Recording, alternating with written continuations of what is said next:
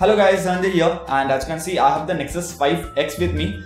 And in this video I'm going to review a ROM for the Nexus 5X and that is pure Nexus project ROMs because it supports layers, uh, support is present and VoLTE is also present if you are going to use it. But unfortunately in India there is no project Fi or uh, there is no VoLTE so I'm not going to use it. But if you are someone who is going to use it, then surely that's a very good news that they are working completely fine with the ROM.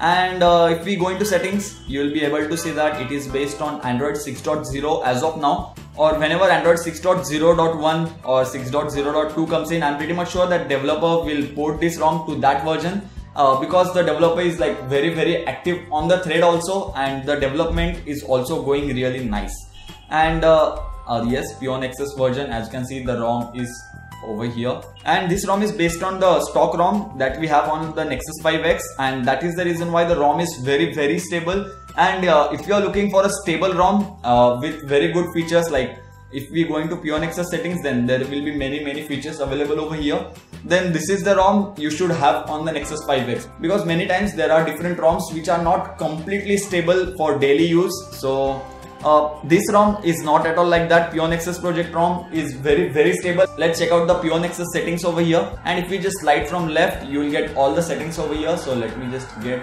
this close. So first of all, let's start with the lock screen. And if we go into lock screen, uh, lock screen shortcuts can be changed. So here we have the voice Google now usually, but you can select different application.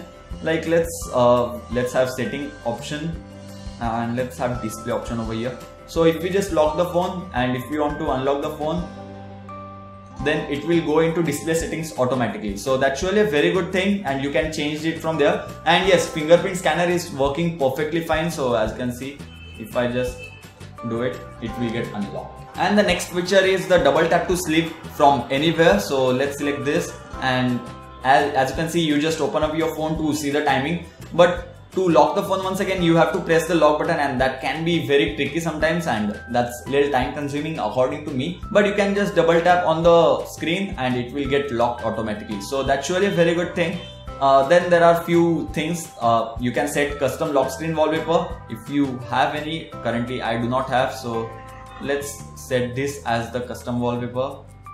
So as you can see it is set as the custom wallpaper over here and if we go into notification drawer then quick pull down is present which is like the best feature of this ROM. And I think that all the AOSP based ROMs and Google should implement this in the stock Android also. Like if we just swipe from the right side of the status bar then it will show you the quick settings toggle. And uh, yeah if you just swipe from the left it will show you the notifications over here. And that's a very very handy feature which should be available in all the ROMs and all the phones and after this let's go into status bar then battery settings yes. And as you can see over here the battery status style uh, was circle from the beginning only because I had changed it. So I like circle and percentage inside the icon. And this is one of my favorite battery status styles. And I always use this on any phone if the option is present. And uh, the next option is network traffic. And if you want the network traffic option then you can select that. And outgoing and incoming speed of your network will be shown and uh, yes once again a very very helpful feature let's go into status bar once again. Double tap to sleep from the status bar. So double tap over here. It will go to sleep. And these are some of the CyanogenMod features. And uh, yes this is really really nice. And let's go into navigation bar now and show arrow keys while typing. So that's a very helpful feature. So let's assume you are typing something. And let's type something which is random. And if you want to go to the left side one by one then you can just press this and you can go over there. So that's really a very handy feature if you are going to use that. And double tap to sleep is present on the navigation bar also. So if you select this option and if you double tap over here it will go to sleep mode automatically. And you can even change the dimensions of the navigation bar. So, so by doing this the height of the navigation bar will become less. So let's keep it normal which looks normal to me. And after this now let's go into power menu. Show power menu on screen lock. So if you do not want to see the power menu, then you can disable this option and uh, no power menu will be shown. So just in case if you lose your phone, then the guy who has stolen the phone will not be able to power off the phone and you can just call your device or do something immediately. Uh, even though if you just press the even though if you just long press the power button for 20 to 25 seconds the device will power off automatically but let's assume that the thief doesn't know that after this now let's go into volume rocker. And yes volume button wake so if you just press the volume button when the phone is locked nothing will happen. But let's enable that option. And if you lock the device and even if you just press the volume button the device will wake up. So yeah these were the features of the rom. Uh, no there are few more actually.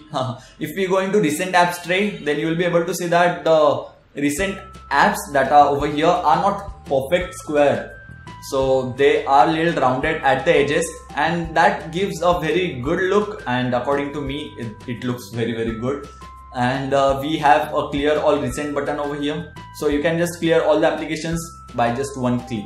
And uh, I have installed Xposed on the ROM and it is working perfectly fine. So if we go into GravityBox then you can change different things but almost all the Xposed things that you will use in the future are present in the Pure Nexus settings already. So I don't think so that you will need any different Xposed module to do that. But if you are interested in that yes Xposed installer is also working.